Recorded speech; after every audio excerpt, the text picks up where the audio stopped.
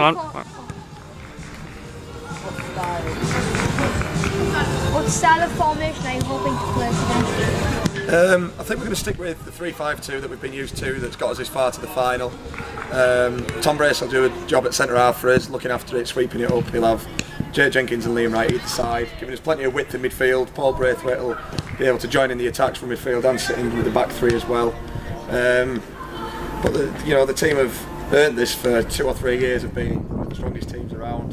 Uh, they've won Durham County Cups, they've won the Cleveland County Cup the last two years, they've won the Town Cup, Town League, they've done, they've won pretty much everything and they deserve to play on a stage like this. And I'm sure that the talent in the team, they will go on to play here week in, week out when they make it further on in their careers. So I'm guessing you have high hopes for this team. I have really high hopes. Yeah, they are the strongest team that I ever worked with. Strength in depth. Um, we've got 13 lads that I could ask any of them to pretty much play in any position in the wood. Um, and they are a really, really strong side who've worked well together. And they also do well in school as well. They also work hard in lessons and make sure that they deserve the right to be part of the side. Um, you know, I think you've got to watch Danny Roberts on the wing. Quick, pace. Um, you know, he's, he's a real danger. Uh, Sam Nixon will hold the ball up in the middle. Liam Gallagher can score goals from the middle. We've got quality all over the pitch. We, we're, a, we're a good side to watch, and I'm confident we can get the win today. Thank you. Thank you very much. Cheers.